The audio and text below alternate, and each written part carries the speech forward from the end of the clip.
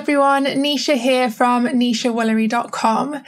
If you know it's time to start using a project management tool to organize your online business, but you're torn between Asana and Trello, then today's video is going to break down why I personally think that Asana is the best choice.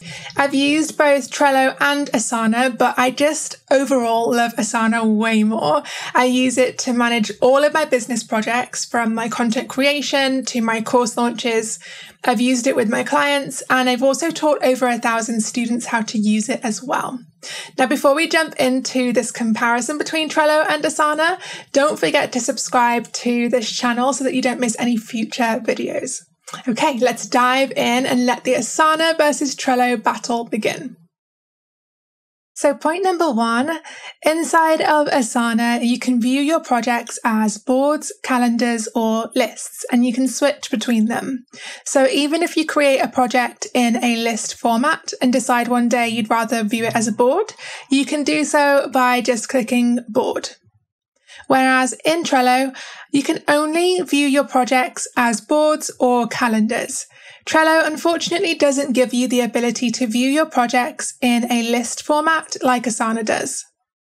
Point number two, you can view all of your projects in one calendar inside of Asana, and it is beautifully color coordinated. So you can see every task has the color that was assigned to that project. So you can understand which projects you have scheduled for which days. You can even add tasks to this calendar that aren't assigned to any project. All you need to do is click anywhere on the calendar, create that task, and as you can see, that task is white so that you can tell it apart from the tasks that belong to projects. Those would be the color coordinated ones, unless of course you haven't given them a color. This is my favorite page in Asana. I'm here every single day. I can open up this calendar and see from one page the tasks that I need to complete for the day. I don't have to keep skipping between projects to view the tasks due for each day. To me, that just would feel like a very messy process and just a lot of skipping around between projects. Inside of Trello, you can view each individual project in a calendar format, but there's unfortunately no way to view all of your projects on one calendar page like Asana. Now we're back inside of Asana onto point three, which is progress reports.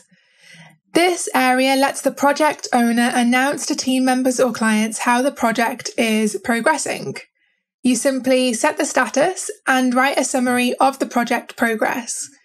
You could use this area to have conversations with team members and clients about progress and what they need to improve on to get the project back on track if it is behind.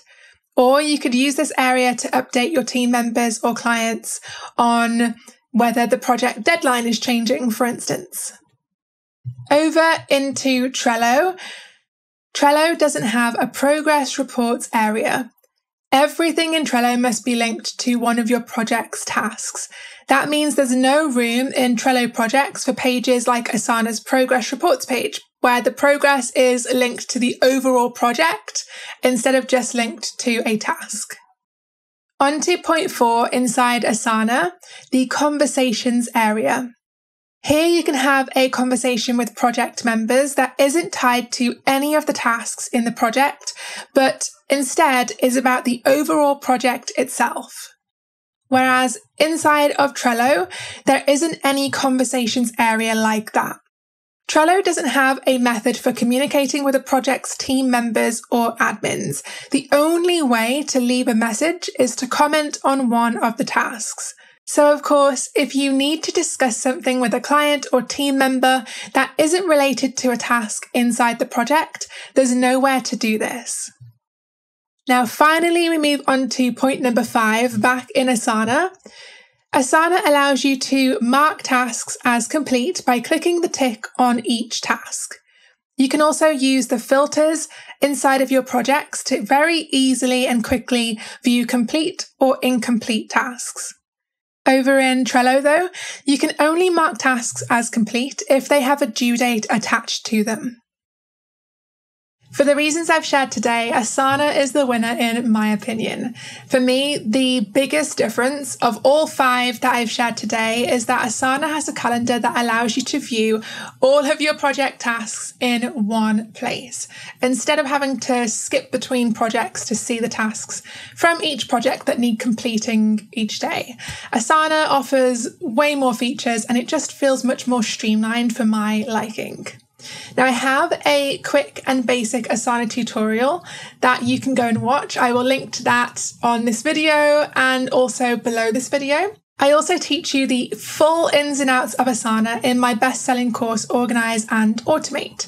So, if you'd like to join over a thousand students in there and learn how to use not just Asana, but how to organize your entire online service based business, then go to organizeandautomate.com or click the link below this video. All right, that is it for me in this video. I really hope that you enjoyed it and it helped you decide between Trello and Asana. If you did enjoy it, please give this video a thumbs up because it helps it get in front of many more business owners who may need it. And I will see you next week.